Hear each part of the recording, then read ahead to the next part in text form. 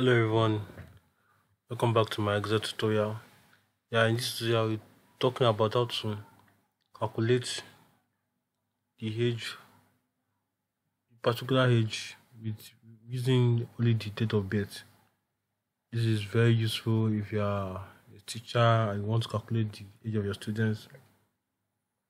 Or you want to get the real age of your students don't start using calculator to calculate their age. You can just use excel to just extract the age number It's very or little very little work to do just by using a just by using merely a function so without further ado let's get to it so i have a list of people here uh, with ABCD, with names ABCD, and these are their respective date of birth.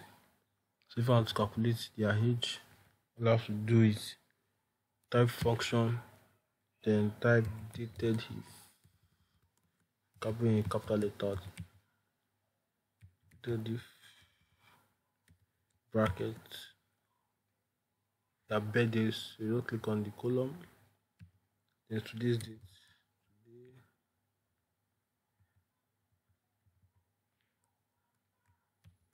then now type the bring y that is the year. Right comma enter. So see that got the age 27 here if you minus 2021 minus 94 you get 27 which is very correct. What's the for minute i don't start writing formula again. So this third I just over to the right button add button then over then drag down.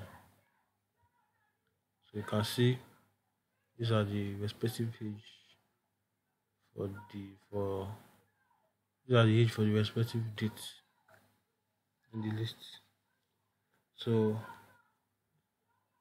it's can be very useful for people that work with excel a lot i want to get the age from a little bit kindly like share and subscribe to my channel. God bless you all. Thank you